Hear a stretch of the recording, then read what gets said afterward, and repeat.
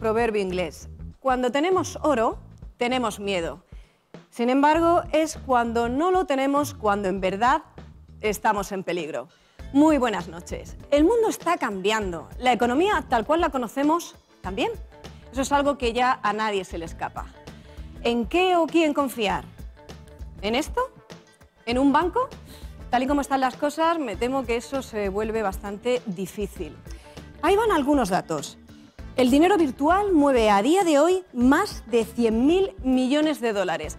Algo que empezó casi como más cerca de la ciencia ficción de la, de la realidad es hoy una realidad más palpable de lo que nos imaginamos. No en vano, el diccionario de la Real Academia Española contempla ya las palabras Bitcoin o criptomoneda. ¿Será que no se trata de un juego o ni mucho menos una moda pasajera? Todos tenemos en nuestro entorno o conocemos a alguien que alguna vez ha dicho aquello de el dinero donde mejor está es en nuestro bolsillo. Ahora bien, ¿Sabemos realmente qué respalda esos tan codiciados papeles que llamamos billetes? Hoy en Todo es posible si lo crees hablamos de dinero, de economía y de futuro. Un futuro que hoy ya es presente. Y para ello esta noche contamos con el experto en blockchain y criptomonedas, Moisés Cano. Moisés, muy buenas noches y bienvenido. Bueno, ¿qué tal? ¿Bien? Así brevemente, para los que nos están viendo en casa y dicen todo esto que es, ¿Las criptomonedas son algo al, alcance de cualquiera? Sí, a día de hoy es eh, algo que, ya se está usando en un montón de sitios y que poco a poco pues, va a dejar de ser una moda digital para ser la forma de pago que usemos en, nuestro día a día, para tomar un café, para ir de compras, etc. Bueno, pues eso te me lo tienes que explicar porque creo que somos muchos los que decimos, ¿de verdad, de verdad? Venga, si eres tan amable, siéntate por favor. Bueno, Moisés Cano, estamos hablando de un hombre formado y vinculado a la electrónica, la ingeniería informática y la programación durante la friolera de 30 años. Es en 2010 cuando tu vida da un giro. No diremos que radical porque de alguna forma pues eso sería la base, ¿no? el preámbulo para lo que hoy conocemos desde entonces un mundo, pero que, entonces, que generaba en su momento más desconfianza quizá que interés. Las criptomonedas, criptomonedas también llamadas, ¿verdad?, activos digitales. Correcto creador de la primera Academia de Habla Hispana, co-creador del primer token para el turismo, ponente en la Feria de Turismo de Madrid 2018. Moisés, todo esto abreviando un poco porque desde 2010 eh, has vivido bastantes cosas relacionadas con este mundo. Te lo preguntaba antes, pero lo primero más me interesa, ¿cómo estás? ¿Cómo te encuentras ahora mismo? Muy bien, la verdad es que pues muy feliz de, realmente dedicarme a lo que me apasiona y me gusta, ¿no? que es este eh, nueva forma de ver la economía mundial, porque bueno, no olvidemos que que, como acabas de decir en la introducción, que el, el, dinero fiat, el dinero que conocemos, pues tiene ciertos problemas y, bueno, hay que intentar buscar una solución para que pues las, futuras generaciones que nos sigan, porque pues puedan vivir la misma comodidad que, que tenemos hoy o que hemos podido disfrutar nosotros. Para muchos Moisés este es un mundo que suena como nuevo, pues suena como casi futurista, como lo decíamos, ¿no? Al origen. Sin embargo, no es tan nuevo como creemos. ¿Cuándo surge y cómo surge de alguna forma todo esto? Bueno, eh, surge en el 2008, 2009, eh, a través de un anónimo llamado Satoshi Nakamoto, que fue una persona anónima porque hasta aquella fecha todas las personas que habían intentado crear un dinero en contra del sistema actual, pues habían, habían sido detenidos o habían ido bueno, o, habían desaparecido. ¿no? Entonces, esta persona que, inventa este dinero virtual eh, quiere un poco trasladar cuál es el dinero perfecto. ¿no? Y en base a eso, pues emite unas pautas, un white paper, como se le conoce, que básicamente es un PDF donde viene la explicación completa de, esa, de ese dinero perfecto. Y a partir de ahí, pues bueno, a través de foros digitales, la gente lo empieza a instalar en sus ordenadores y empieza a generar ese dinero digital o Bitcoin para poder utilizarlo. ¿Cómo es que llega a, tu mundo, a tu universo esto? Bueno, pues yo realmente estaba trabajando en, la televisión, donde trabajaba actualmente, y bueno, me llegó a través de, un becario que llegó allí eh, a la televisión, me contó que en un foro de internet se estaba hablando de una moneda digital que iba a ser usada eh, pues eso, a través de internet, para hacer pagos por internet y que iba a tener un valor. Y nada, nos pusimos los dos a investigar un poco. Yo soy informático y he, trabajado toda mi vida cacharreando, instalando ordenadores, desarmando, montando. Y empezamos a instalar aquello y, lo, y bueno, empezamos a fabricar Bitcoin, cada uno en su casa.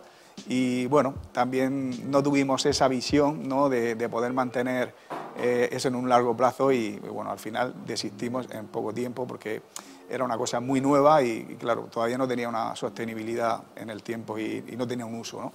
Y prácticamente costaba dinero fabricarla porque tenías que tener el ordenador eh, de casa encendido 24 horas, con lo cual, pues bueno, aquello se, se difuminó rápidamente hasta que en 2014 pues ya sí que eh, me dedico plenamente a vivir del mundo de las criptomonedas y, de Bitcoin. Fíjate qué curioso, de alguna manera son esas nuevas generaciones las que tienen la mente abierta precisamente no a eso nuevo que nos llega.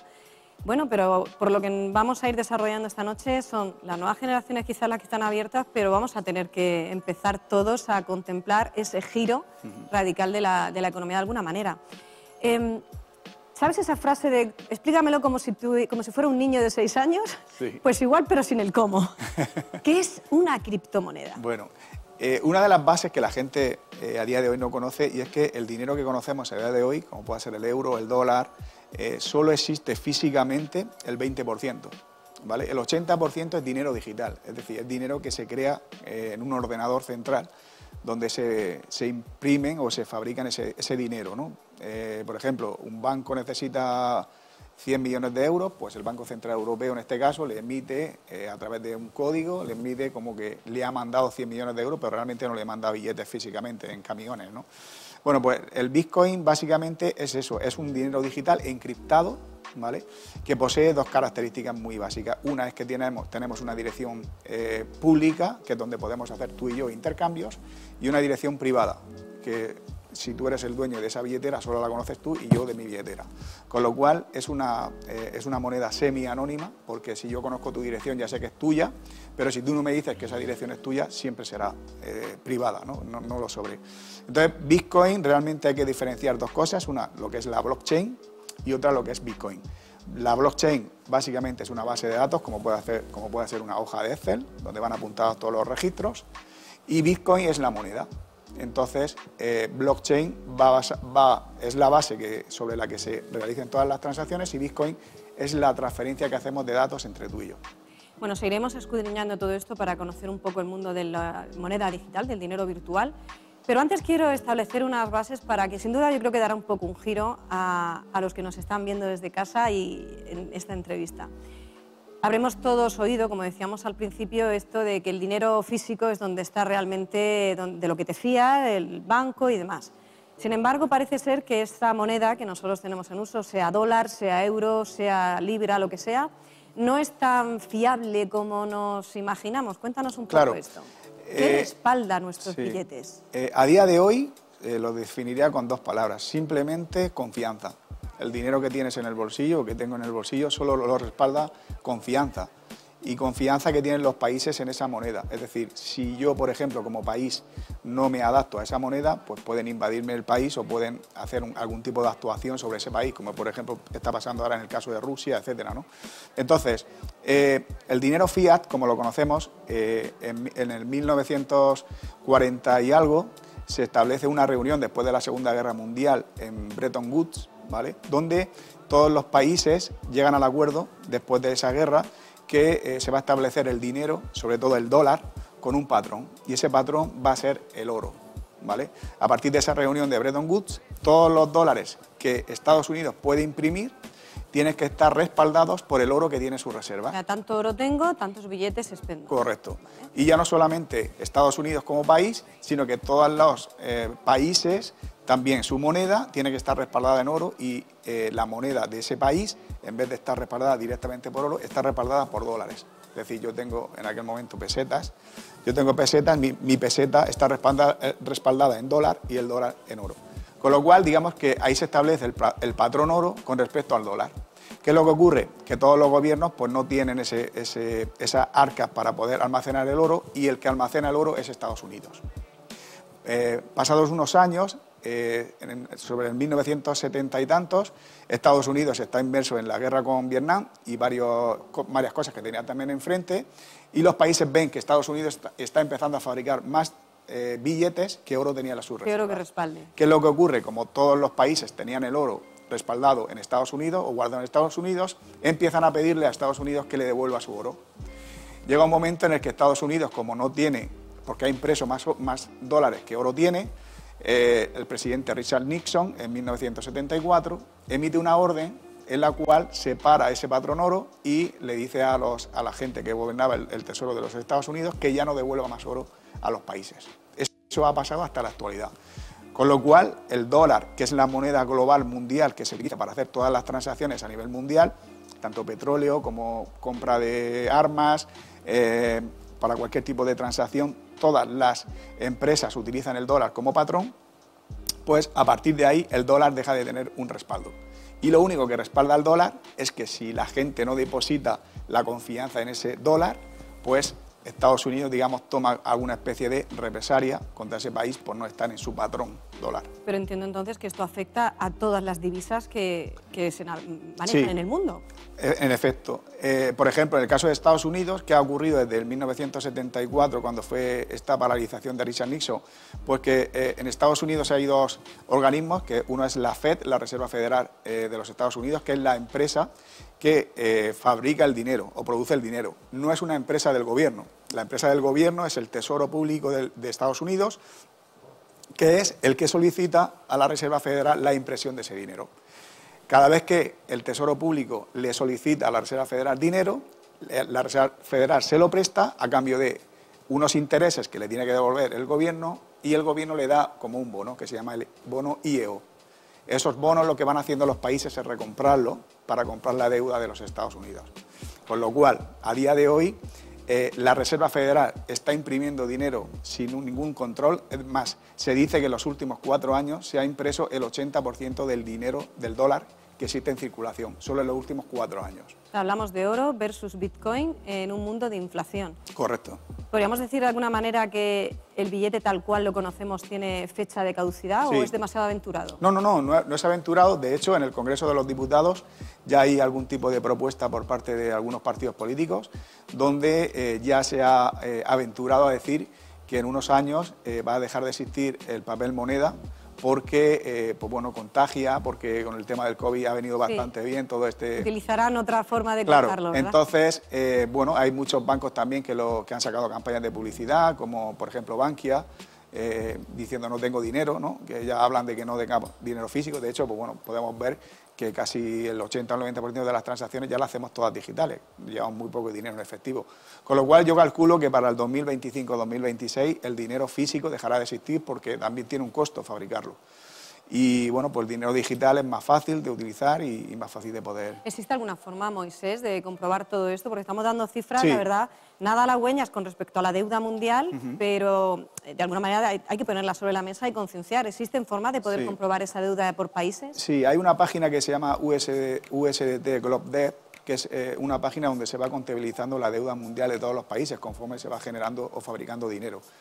Esa, bueno, esa página web te va enseñando un poco cuál es la deuda que, tiene, que tenemos todos los países, porque bueno, uno de los países donde nosotros vivimos, que es, España, no olvidemos que tenemos una deuda por, por encima del 122%. Eso quiere decir que eh, cada español al momento de nacer ya tiene una deuda asignada de 30.000 euros.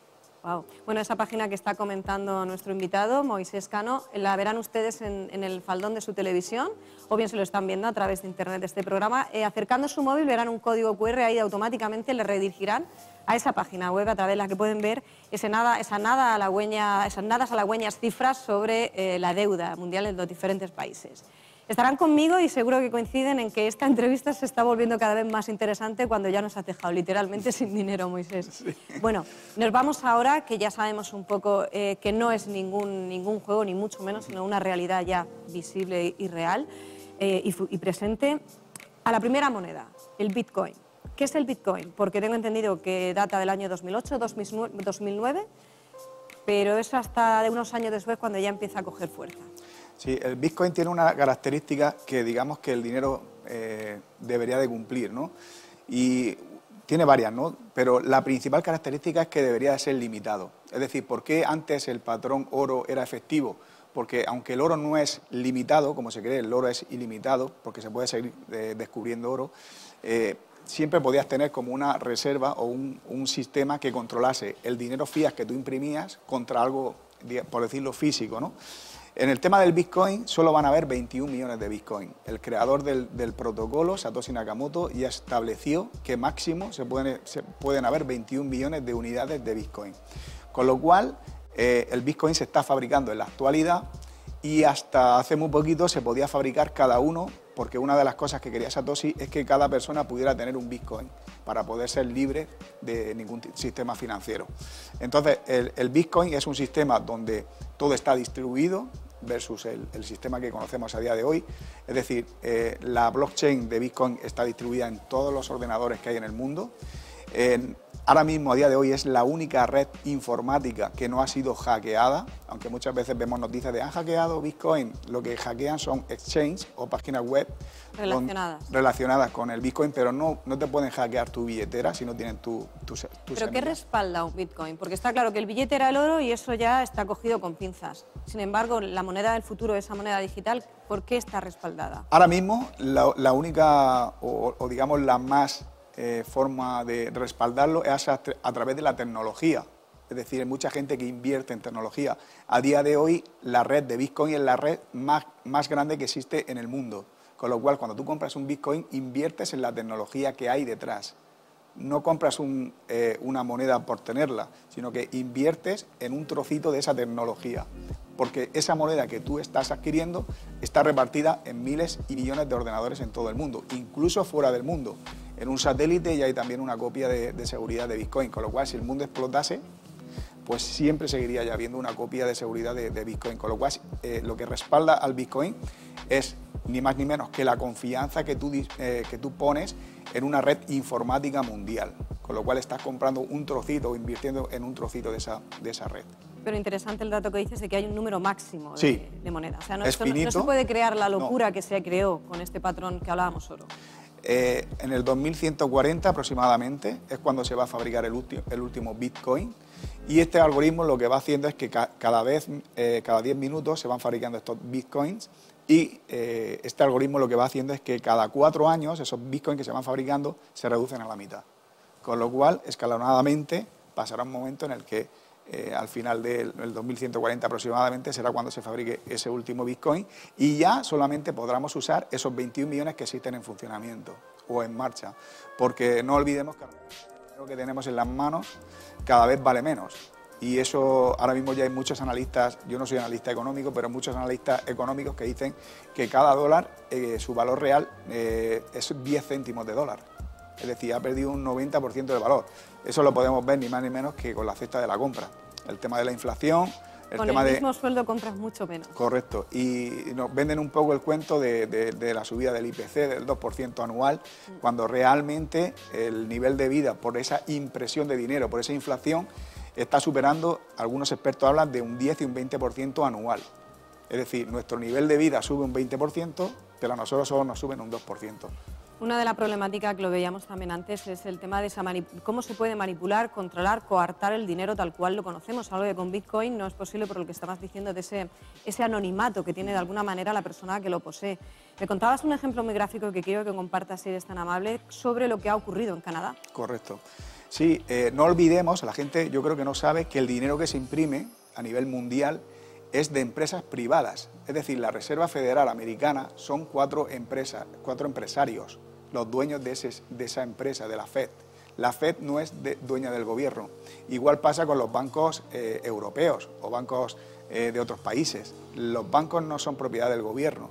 Los gobiernos piden dinero prestado a esos bancos que tenemos que devolver los ciudadanos con un tipo de interés, ¿vale? Eso que, tiene que quedar muy claro porque la gente muchas veces yo hasta hace muy poco no lo sabía. Entonces, eh, por, ejemplo, lo que estabas hablando en Canadá ha pasado que hace poco, bueno, eh, está habiendo una marcha de revueltas de, ciudadanos pacíficos por las libertades de, la gente de Canadá y de un montón de, personas del mundo, donde han bloqueado las carreteras con sus camiones. Y bueno, pues el gobierno de Trudeau, que es el presidente o el primer ministro de allí de, Canadá, lo que ha hecho ha sido a esas ONGs o a esas empresas que está intentando, eh, pues bueno, llamarlo boicotear el gobierno o intentar eh, dar un poco de, decir la voz de la gente, pues le ha cortado el grifo a, sus cuentas bancarias. Ya no puedes hacer una, eh, una labor de beneficencia a esa empresa para colaborar con ellos. Y la única fórmula que tienen ahora mismo para poder financiarse es a través de las criptomonedas, que también el gobierno ilusoriamente ha intentado hacerlo, pero como no saben, porque los gobiernos todavía no saben de tecnología, porque no son gente eh, preparada para este sector, pues ha querido cortarle el grifo de las criptomonedas sabiendo que eso no se puede cortar. La única forma de que te corten las criptomonedas es cortar Internet es la única forma. De todas maneras, fíjate, ya vemos un caso visible, un caso claro de cómo han cortado el, dinero del banco y ya no puedes utilizarlo para ayudar a lo que ellos consideran que va en contra de su gobierno. Correcto, es que al final el sistema financiero que tenemos es controlado, es un sistema financiero centralizado. Cuando tú depositas el dinero en el banco, la gente no sabe que el dinero pasa a ser propiedad del banco ya no es tuyo. No es una hucha. No es una hucha. Entonces, eh, el sistema de las criptomonedas y de Bitcoin lo que pretende es eso, ¿no? darle un poco la libertad a las personas que si yo quiero hacer una transacción contigo, no, no necesitemos un intermediario, un banco, una persona o una empresa como PayPal, sino si yo hago un servicio, te presto un servicio que tú me puedas pagar con criptomonedas sin necesidad de que tenga que haber un intermediario, porque tú y yo somos personas libres de este mundo. Entonces las criptomonedas vienen a eso, ¿no? a poder transaccionar entre seres libres sin necesidad de un intermediario que nos permita o no nos permita hacerlo. Bitcoin, vamos a dar algunos datos. La moneda, digamos, que se presenta como la primera o la más, la más importante. Eh, lleva unos 13, 14 años en el mercado. Hace, hace 11 años eh, su valor era de un dólar. Sí. Actualmente, si no me equivoco, estamos en torno a los 40.000 dólares, pero ha alcanzado cifras máximas de 60.000 dólares. Sí, 65, 66.000 dólares. Tú más exacto. bueno, eh, ¿Cuántas monedas hay hoy en día? Aunque esta sea el máximo referente, ¿cuántas monedas hay hoy en día? ¿Cuál es el objetivo? ¿Que quede solo una? ¿Cuál es el plan? Vale. Eh, actualmente hay una página se llama CoinMarketCap, que es donde puedes consultar todos estos datos. Actualmente hay aproximadamente unas 18.000 monedas en circulación. Eh, monedas, hay que diferenciar entre monedas y proyectos, porque eh, el primer proyecto que salió fue Bitcoin y a través de ese proyecto han ido saliendo las sucesivas. Eh, a día de hoy no es que vaya a quedar una moneda o no, lo que se está implementando, está habiendo un cambio en el mundo que conocemos a día de hoy con el mundo digital. Entonces, todas las cosas que nosotros hacemos ahora mismo, eh, por decirlo de alguna forma, físicamente o presencialmente, se van a trasladar al mundo digital a través de eh, blockchain o de empresas que tienen o no su moneda. Con lo cual, no es que vaya a quedar solamente una, como puede ser Bitcoin o Ethereum, que es la segunda más fuerte, sino que, por ejemplo, Bitcoin va a venir a ser como un refugio de valor. De hecho, ahora mismo que están, eh, se está hablando mucho de la guerra de, Rusia, si invade Rusia, Ucrania o no, pues ahora mismo toda la gente, o hay mucha gente que está resguardando su dinero en oro o en criptomonedas, en Bitcoin en este caso. Entonces, el Bitcoin va a ser como el oro digital, el oro 2.0. ¿Por qué? Porque no olvidemos que ahora mismo con el, el oro tiene unas eh, características que no podría cumplir el Bitcoin. Es decir, yo no me podría ir con un ligote de oro a Estados Unidos o con un kilo de oro a, comprar a una tienda comida. Con Bitcoin sí. Yo, podría yo podría llevarme 100 millones de dólares en un, en un pincho USB a Estados Unidos y viajar. Es decir, el, mundo que tenemos ahora mismo es un, es un, mundo digital, con lo cual necesitamos un procesador de pagos digital, algo digital. El oro nos va a servir en un futuro, o puede servirnos, o nos ha servido en un futuro como almacenamiento de valor, pero ahora el nuevo oro digital, el oro 2.0 es Bitcoin. Por eso hay muchas monedas que van a venir a, quedarse, por ejemplo Bitcoin, Ethereum, hay muchas más, ¿no? Hay monedas que sirven para hacer microtransacciones, micropagos, hay monedas para eh, rastrear cadenas de alimento, por ejemplo Carrefour ya está utilizando una blockchain para saber cuándo compras un, alimento, por ejemplo un, pollo, un cerdo, para saber exactamente de dónde ha salido, qué comida ha tomado, cuánto tiempo ha estado en un camión, etcétera, etcétera, y que la gente pueda seguir la trazabilidad. Es decir, van a haber muchas monedas y cada una... Con un objetivo determinado. Correcto, cada una va a desempeñar un papel o va a venir a sustituir un papel de, los que conocemos actualmente. Esperemos que a ti y a mí no. Hablamos, has mencionado un blockchain, experto en criptomonedas y blockchain. Esto último, Moisés, se traduce como cadena de bloques, algo relacionado con la forma en la que se registran y se producen estas transacciones que estás hablando. Cuéntanos un poquito más para que podamos adentrarnos un poco. Bueno, la blockchain eh, básicamente es una base de datos eh, que en vez de estar centralizada en un ordenador central, eh, está distribuida. Esto quiere decir que esa base de datos no la tienes tú en tu ordenador ni la tengo yo, la tenemos los dos. Con lo cual, la ventaja que tiene es que si, por ejemplo, tenemos 100 ordenadores con esa base de datos y uno se cae, no tendríamos ningún problema, podríamos seguir funcionando. El, sistema que conocemos ahora es el sistema centralizado, por ejemplo, en el caso de, los bancos. Si yo tengo mi cuenta en BBVA, el dinero, eh, por decirlo de alguna forma, no está en Murcia o en Alicante, estará en Madrid y Madrid estará conectada con la sede de Murcia, con la sede de Alicante, es decir, está centralizado, todo parte de un nodo. Si se cae ese nodo, pues nos quedamos sin poder operar con dinero. En blockchain no, todo está distribuido. Entonces, cosas buenas que tiene blockchain, por eso hay muchos gobiernos que no quieren, implementar el sistema de blockchain. Por, uno, de uno de los ejemplos es que es inmutable. Si yo escribo en esa blockchain una hoja de que yo te he pagado a ti, yo le he pagado a Isma una transacción de un lápiz que me ha vendido, eso ya es imborrable. Nunca en la vida nadie podrá borrarlo. Se podrá escribir otra vez en otra línea diferente que yo te, que, yo te he devuelto ese Bitcoin que tú me has pagado, pero yo no podré borrar la línea de arriba, con lo cual es, hay muchas cosas, por ejemplo, podríamos saber una partida presupuestaria del Ministerio de, Transporte de cuánto dinero ha destinado a Murcia y cómo se ha distribuido ese dinero, a qué empresas ha ido, cuándo se ha gastado, cuánto han cobrado los peones del trabajo, es decir, podría ser totalmente transparente, porque la blockchain, eh, todos podemos consultar la blockchain de Bitcoin, tú puedes consultar cada minuto, eh, bueno, cada 10 minutos, las transacciones que se van haciendo en, blockchain. No puedes saber quién es el destinatario que hay detrás, la persona física, pero sí puedes saber cuánto dinero se está moviendo, así en todas las blockchain. Con lo cual, la blockchain es una nueva forma de base de datos o de almacenamiento que nos permite a los ciudadanos poder saber cómo está distribuido ese dinero que hay metido en esa blockchain, porque cada una de las monedas tiene su propia blockchain. La mayoría de los bancos, Moisés, desaconsejan este tipo de inversión en moneda digital, en lo que es este mundo virtual. Podemos imaginar los motivos. Sin embargo, Moisés, indagamos, y en esto lo has hecho tú tres veces más que yo, por decir una cifra, si indagamos un poco en, Internet, vemos que grandes cabeceras de bancos tienen su propia inversión en criptomoneda. Es más, el propio Banco de España ya ha reconocido su primera plataforma de criptomonedas. ¿A ¿A qué crees que puede deberse, aunque podamos imaginarlo, este, este ocultismo, esta bueno, no, no, olvidemos que al final el Bitcoin y las criptomonedas vienen a competir con los bancos. Hemos dicho antes que los bancos son empresas privadas. Es decir, mm, ellos no están mirando por el ciudadano, ellos son una empresa y como empresa necesitan tener beneficios. ¿De dónde sale el beneficio? De que si tú vas a pedir un préstamo, ese préstamo que ellos te, te van a conceder a ti eh, realmente el dinero no está en sus arcas, porque hay una cosa que se llama reserva fraccionaria y es que el banco eh, solo tiene que tener el 10% del dinero que presta en sus arcas. De hecho, se habla de que hay algunos bancos que no tienen ni el 1%. Con lo cual, si todos fuéramos a pedir el dinero al banco mañana, el banco no tendría el dinero suficiente porque eh, ha prestado más, dinero de que, el realmente tiene en sus cuentas. Y podría producirse lo que pasó hace años en Argentina. Correcto, podría producirse el corralito, Y, bueno, eh, es una de las cosas que ellos no quieren. Por eso, cada vez menos los, los bancos no es que no quieran el Bitcoin y las criptomonedas, ojo, es que le dicen al ciudadano que no las use pero ellos sí la están usando desde hace muchos años. Sí, lo que vemos. De hecho, no sé si sabes que seguro que habrás utilizado algunas veces las transferencias estas instantáneas, que te dice que deseas hacer una transferencia instantánea, te, te cobran un poquito más. Esa transferencia instantánea se hace a través de criptomoneda, que se llama USD, que es un dólar. Es una moneda que equivale a un dólar. Y ellos utilizan esa, tecnología para hacer esa transacción y a ti te cobran unos intereses, un 10, 10 euros, 15 euros, 20 euros por hacer esa transacción, con lo cual ellos ya están usando esa tecnología, la tecnología de las criptomonedas. Lo que pasa es que no quieren que la gente que tiene el dinero en sus bancos, en, el banco, retire ese dinero y se lo lleve al fondo de las criptomonedas. ¿Por qué?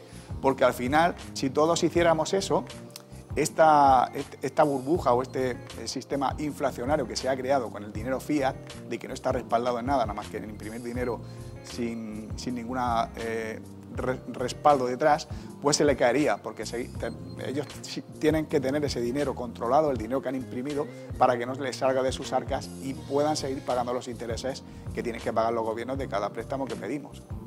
Entonces, por eso es una de las causas. No es porque ellos no lo usen o no lo quieran, sí lo están usando. El problema es que el ciudadano de, de a pie, como nosotros, nos enteramos siempre tarde de todas las cosas que hacen pues esta empresa, porque al final los bancos son empresas. Y nos enteramos de los flecos o la punta del iceberg, como suele decir. Así es. Moisés, hemos nos hemos adentrado un poco eh, en el mundo de las criptomonedas, de este dinero digital.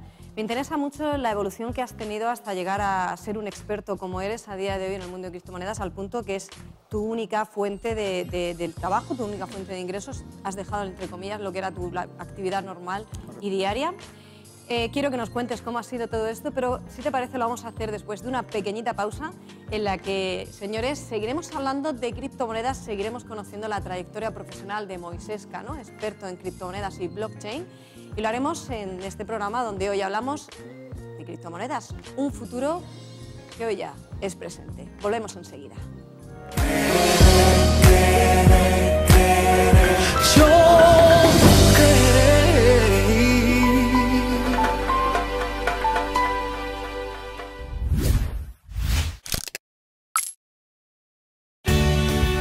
importa si vas a trabajar o si vas a descansar. Lo que queremos es que llegues. Gobierno de España. Proyecto 10 por 1000. Nuestra conquista para este 2022. Vida RTV Plus se mantiene gracias a sus patrocinadores. Actualmente hay unos 500 colaboradores sosteniendo con su donativo las emisiones y los contenidos que producimos. Y a través del proyecto 10 por 1000 vamos a poder doblar esa cantidad para poder llegar mucho más lejos y con mejor calidad. A partir de 10 euros mensuales por 1000 patrocinadores plus.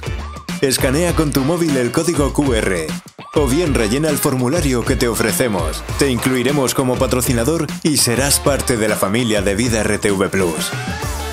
Con tu aportación mensual darás vida a muchos. Proyecto 10 por 1000.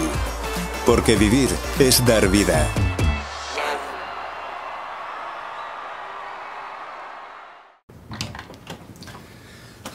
Es muy tarde para estar en la cama y además, ¿qué es toda esta ropa, hija? Light up the place or enjoy the silence.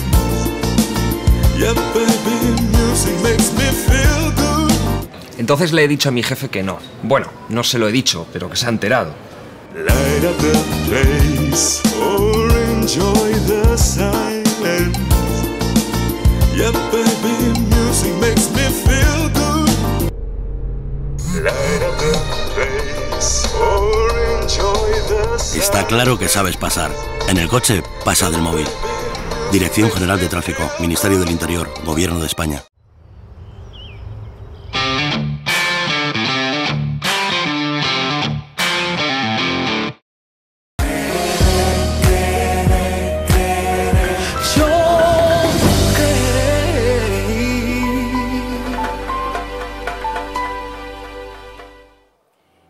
Hablando de criptomonedas en Todo es posible si lo crees, porque hoy hablamos de dinero digital, un futuro que hoy ya es presente. Y seguimos con Moisés Cano, experto precisamente en esto, en criptomonedas y blockchain. Te dejamos justo en la parte más íntima, más personal, en la que nos cuentas un poco cómo ha sido tu trayectoria, que puede ser la de cualquiera que nos esté viendo y que quiera adentrarse también en este mundo, Moisés. En 2017, recordemos que tú empiezas en 2010 un poco a, a funcionar, a conocer esto y a, a invertir en el mundo de criptomoneda. Tanto es así el interés que en 2017 creas la mayor escuela de criptomonedas de habla hispana. Entiendo que habrás conocido pues, todo tipo de trayectorias, de problemáticas, de, de cosas que han ido bien. Sin embargo, te quiero preguntar a, a respecto de esto, ¿cuál es el error más común que consideras se suele cometer a la hora de empezar a hacer este tipo de inversiones? Bueno, más que error, yo creo que es el pensamiento, ¿no? Todo el mundo ve las criptomonedas como un instrumento financiero de hacerse rico de la noche a la mañana, Y no es cuando así. no es así. Eh, bueno, eh, puede ser así en, algunos de los- en algún caso, pero en el 99% no nos va a pasar eso, ¿no? Entonces tenemos que, lo primero, no confiar en todo lo que vemos en Internet, porque desgraciadamente en Internet a día de hoy es más desinformación que información contrastada.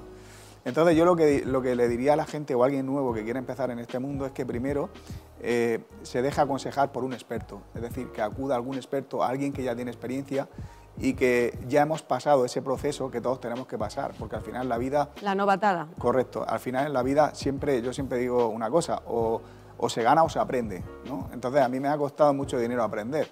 La gente piensa que esto de la noche a la mañana ya sabes de todo y no es así. Entonces, eh, quitarnos la idea de que nos vamos a hacer millonarios metiendo mil euros a comprar Bitcoin que mañana va a valer un millón de euros, que puede llegar a valerlo, pero que nuestra idea no sea esa. Entonces, la primera idea que yo le digo, con la primera cosa que se tiene que quedar la gente es que intente entrar en las criptomonedas con un dinero que no necesite para comer o para vivir. y que ese dinero pues, bueno, pueda representar entre un 10 y un, 10 por- y un 20% de su capital que pueda tener en, en el banco o en algún sitio depositado y que no le esté generando rendimiento, porque a día de hoy los bancos lo único que nos generan son cargas, ¿no? que cada vez el dinero que tenemos en el banco cuesta más, eh, nos cuesta más dinero mantenerlo y, a, final de año eh, es un dinero que nos van quitando. ¿no?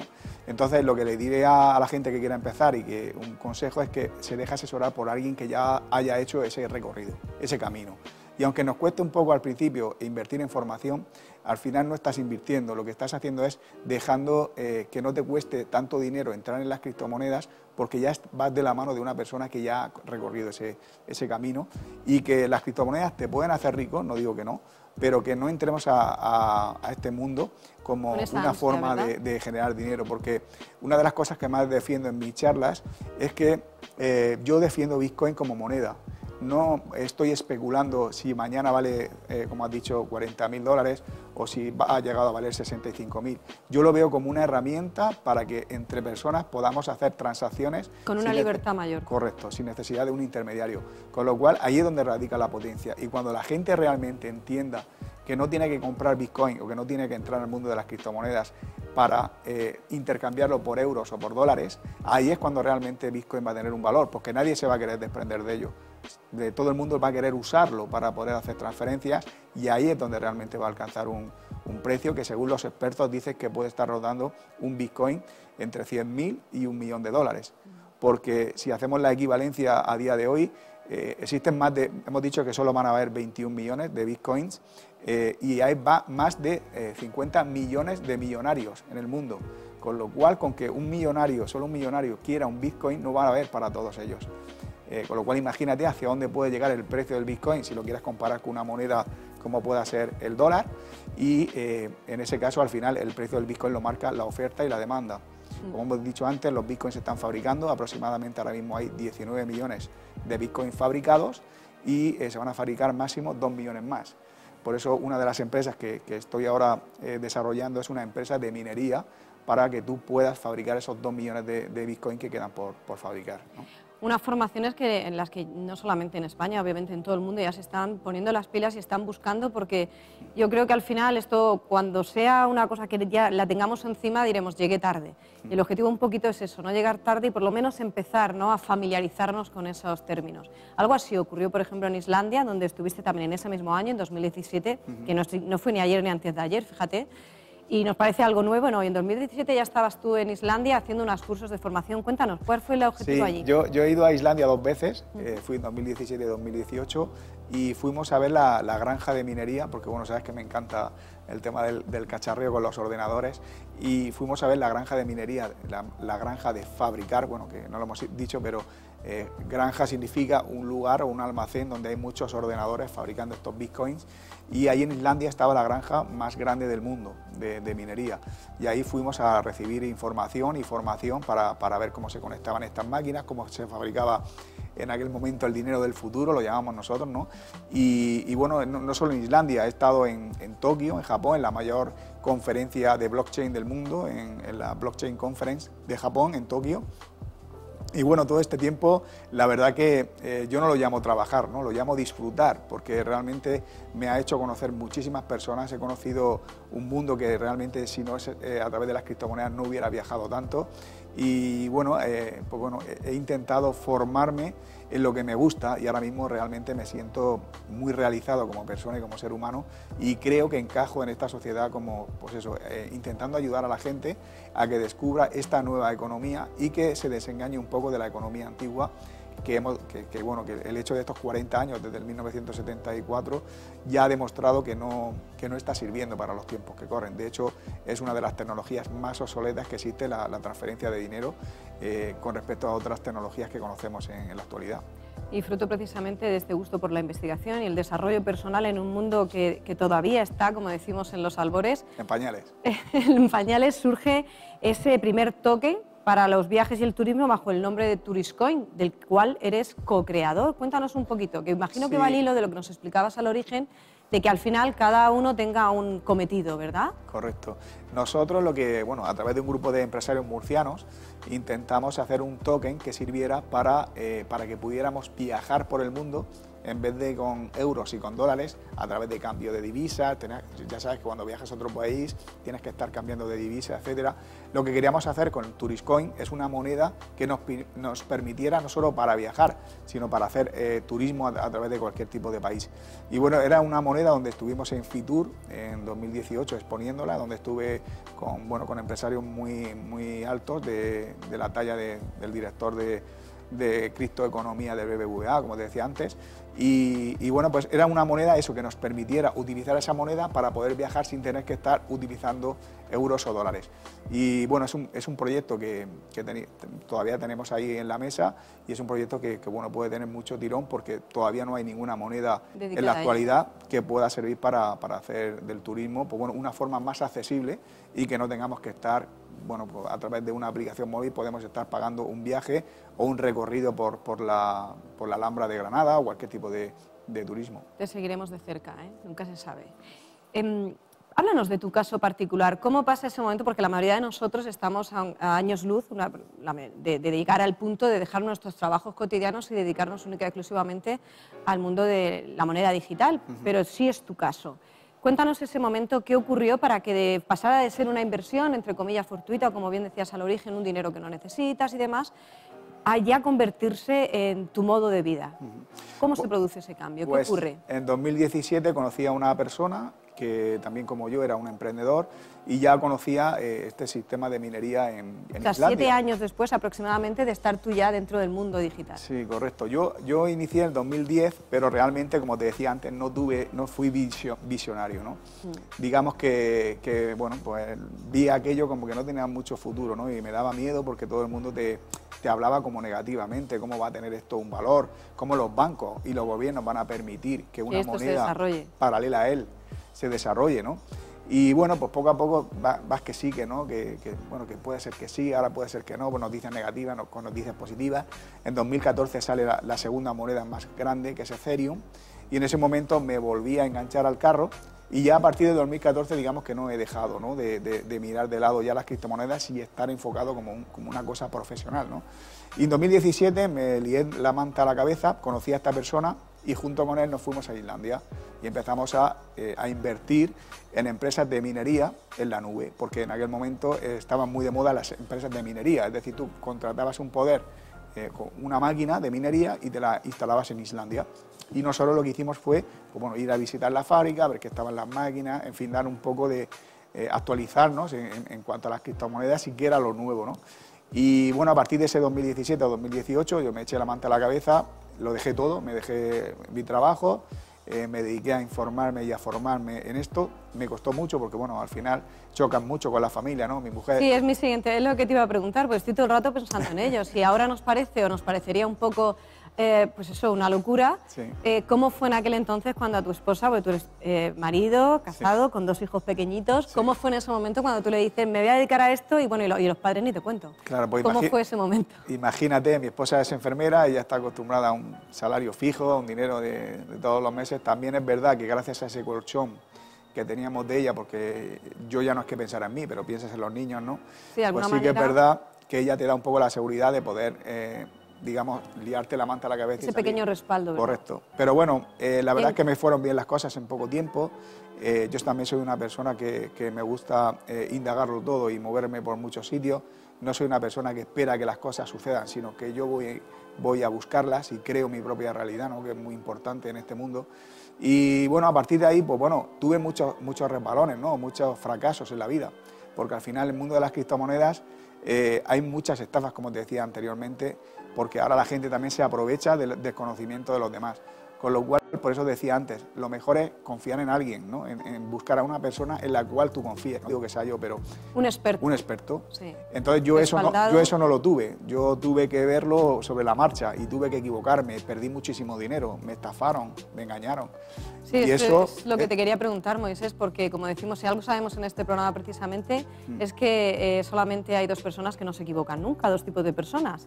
Unas son las que no hacen nada y las otras, como saben ustedes, pues las que ya se han muerto.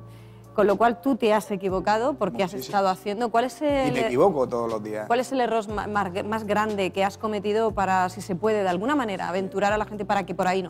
Yo creo que el error, el error que yo ahora mismo eh, le recomendaría a la gente que nu- nunca hiciera es depositar el dinero en una plataforma. Es decir, eh, en este mundo de las inversiones hay plataformas que te prometen que están haciendo una cosa, pero realmente por detrás no están haciendo eso. A lo mejor te dicen, no, estamos haciendo inversión en trading. Y tú depositas aquí mil euros y dentro de cuatro meses tienes dos mil. Realmente eh, hay muy pocas empresas que realmente estén avaladas por la CNMV en este caso porque estamos en España. Y mi mayor consejo es que no deposites el dinero en plataformas, que no quiere decir en exchange. ¿eh? Hay una cosa que, bueno, si tenemos eh, el tiempo de, explicarlo en otro día, hay diferentes eh, op- operarios ¿no? que, que están dentro de esta criptoeconomía, pero depositar el dinero en un tercero nunca lo haría. O nunca recomendaría que la gente lo hiciese en un tercero, puede ser una empresa de trading, puede ser una empresa de, de lo que sea. Por ejemplo, minería en la nube ya no hay, ya no existe. Sí, de alguna manera, eh, que se quiten ese concepto cuando hablamos de inversiones como bonos del Estado, ese tipo de cosas, como dice, bueno, yo lo dejo aquí y así pasa lo mismo. No, eso no, es recomendable. Hay que cambiar todo el sistema tal cual lo conocemos ahora de inversión. Totalmente. Una de las cosas más importantes que tiene que quedar la, gente le tiene que quedar clara es que en las criptomonedas, si tú no tienes las palabras clave, no tienes el dinero. Eso quiere decir que si yo, si yo deposito mi dinero en, la primera, en el primer banco este que ha sido, que es Bit2Me, que ha salido eh, ya respaldado por, la, por el Banco de España como primer criptobanco en España, si yo le deposito el dinero a Bit2Me en su cuenta eh, eh, y compro bitcoins, los bitcoins yo no los tengo, los tiene Bit2Me. Si mañana desaparece Bit2Me, desaparece mi dinero. Con lo cual, en las criptomonedas hay una cosa que se llama billetera o wallet que eh, te genera unas palabras clave. Si tú tienes esas palabras clave, que pueden ser 12 o 24, tú tienes las criptomonedas. Si no tienes las palabras clave, no tienes las criptomonedas. Esa es la recomendación más grande que le haría a la gente que ya ha oído algo de criptomonedas y sabe eh, algo de criptomonedas. Es decir, nunca deposites el dinero donde no te den tus semillas o tu tus palabras clave. Porque si no tienes las palabras clave, tu dinero puede desaparecer. Ya tenemos un poquito ese esquema, esa columna vertebral, vertebral de cosas que no podemos olvidar si queremos adentrarnos. Vamos a poner que hemos eh, captado la, la atención de varios de nosotros, que nos has atraído a saber más de este mundo que ya es una realidad visible. Eh, ¿Hay un mínimo para poder eh, eh, tradear, se dice así, Eh, para poder entrar dentro de estas inversiones digitales? Bueno, ya veo que está ahí muy puesta, ¿no? No, no hay ningún mínimo. Al final tú puedes comprar eh, 5 euros de Bitcoin o 10 euros de Bitcoin. El único, la única cosa es que nadie va a comprar esa cantidad. Lo que se utiliza para cambiar euros a criptomonedas ahora se llaman casas de cambio o exchange, que en el caso de España, como hemos hablado antes, pues la más famosa es Bit2Me, es una empresa que nació en Elche, de hecho conozco a, los dueños, y esa empresa lo que te hace es que te, intercambia euros por criptomonedas, o viceversa, si tú quieres en un momento intercambiar Bitcoin por euros, ellos también te lo hacen, ese intercambio. Entonces, eh, no hay ningún límite, tú puedes cambiar mil euros o puedes entrar a comprar mil euros en Bitcoin, en Ethereum o en cualquier otra criptomoneda, o puedes comprar 100.000, no hay ningún mínimo, no existe un mínimo ni existe un máximo. Con lo cual, eh, al final es un método de pago. Tú utilizas el método de pago con el dinero que tú quieras eh, utilizar para hacer esa transacción. En las criptomonedas es igual. Bueno, cosas que nos han quedado ya claras, Moisés, es un futuro que ya es presente. Tenemos que ponernos en manos de un experto. Se puede empezar desde cualquier cifra y no confiar en plataformas que te prometan, como en todo en esta vida, que te van a triplicar la, Alta la cantidad de rentabilidad. alta rentabilidad. Correcto, Básicamente sería esa columna, esa- ese eje que no podemos olvidar ninguno. correcto. No te quiero despedir. Bueno, dime, perdón. No, digo que donde, donde deposites el dinero o donde dejes tu dinero, que realmente sepas que están haciendo eso con el dinero. Por ejemplo, nosotros tenemos una empresa de mineros de criptomonedas, eh, punto .com, donde vendemos mineros, pero el minero no lo tenemos nosotros, lo tiene el, el dueño, el que lo compra para fabricar los bitcoins y lo pone en su casa o en su domicilio. En España es 100% legal minar criptomonedas, con lo cual tú estás haciendo una inversión en comprar unos equipos informáticos que te fabrican bitcoin. Con lo cual siempre tienes Que va más allá del almacenaje, como propiamente dicho. Sí, una cosa es hacer holding o hold, que es eh, comprar criptomonedas y guardarlas. Eh, tú puedes adquirir las monedas de tres formas diferentes. Una, haciendo una transacción con una persona que te quiera pagar en Bitcoin, estarías cogiendo Bitcoin. Dos, comprándolos en un exchange, como puede ser en este caso Bit2Me, y guardándolos en una billetera. Yo siempre te recomiendo que sea una billetera tuya propia, una wallet propia donde tengas las semillas. Eso sería hacer hold, porque tú la compras y la guardas para en un futuro.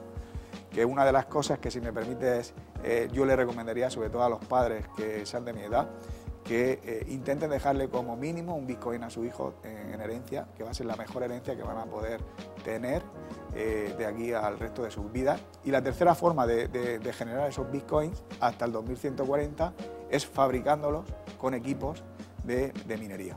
Bueno, al hilo de lo que estaba comentando Moisés Cano, de es buscar a ese experto si quieren consultar o contactar con él para cualquier tipo de pregunta o incluso para poder adentrarse en este mundo de las criptomonedas, estarán viendo debajo el rótulo donde pueden ver tanto su número de teléfono como las diferentes páginas web de desarrollo en las que se ven algunos de los proyectos que hemos puesto en esta mesa a lo largo de la noche como otros que tiene en marcha. Y al hilo de eso no te quiero despedir, seguiremos hablando porque me da que este tema no se queda aquí y creo que no me has contado ni la punta del iceberg, sí lo más importante como hemos visto ya, y es cosas a tener en cuenta, cuidados a tener en cuenta y sobre todo pues eso, que es una cosa que no es ni pasajera ni lejana, sino que está ya aquí.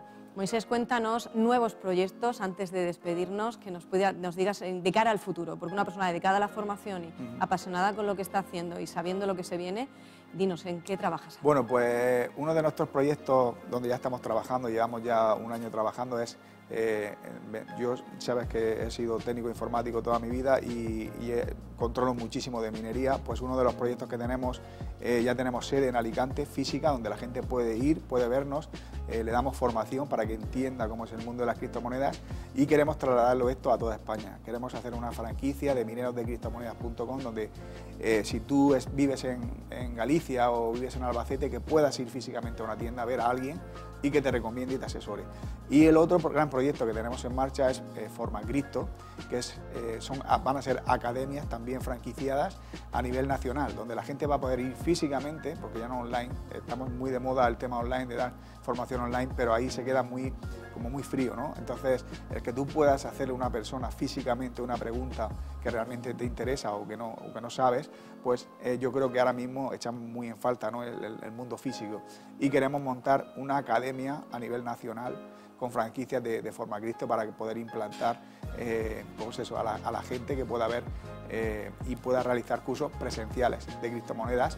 Y ya la tercera y el último proyecto, que es... Como si fueran eh, pocos. se va a llamar, lo que pasa es que no sé si adelantarlo, no va a ser que nos copien la idea, pero va a ser un Cristobar. De aquí a registrarlo. De aquí a registrarlo. Es un, va a ser una especie de, bar temático de criptomonedas y de Bitcoin donde la gente y los forofos de, las criptomonedas podamos intercambiar y compartir conocimientos, así, como hacer inversiones seguras y que bueno, podamos pasar un rato cuando ya sabes que muchas veces las personas conectamos unos con otros y realmente donde estamos a gusto en, en, esa simbiosis, ¿no? en, la, simbiosis de, las personas que conectas y queremos hacer eso, un punto de, reunión, un punto de encuentro entre Cristo amigos y gente que, bueno, que viva la misma pasión y que viva las mismas... Y compartir experiencias. Moisés Cano, experto en criptomonedas y blockchain, muchísimas gracias por estar con nosotros hoy, por compartirte, por ilustrarnos, por formarnos y por eso quitarnos sobre todo muchas, muchas vendas. Gracias, Moisés. Gracias a ti, Isma, por darme la oportunidad de, de ayudar a la gente a, una cosa muy básica como es la economía, donde no nos enseñan en la, escuela, por desgracia, y donde creo que, que, bueno, nuestros niños sería muy imprescindible que le dieran esa formación, cosa que nosotros no hemos recibido, de una economía básica. No hablamos de, de, grandes cosas, pero por lo menos una formación básica en economía que, que nos ayudase a todos a poder gestionar el dinero de otra, de otra forma. Educación financiera, como dice un hombre a quien los dos apreciamos mucho. Así es. Decía John Naismith, un orador y escritor estadounidense, experto en futurología, la ciencia política, que la nueva fuente de poder dejaría de ser el dinero en manos de unos pocos para pasar a ser la información en manos de muchos. Eso es lo que hemos intentado esta noche, dar información que, como saben, en última instancia es poder. Confíen en su instinto y de una u otra manera recuerden, todo es posible si lo crees. Hasta la semana que viene.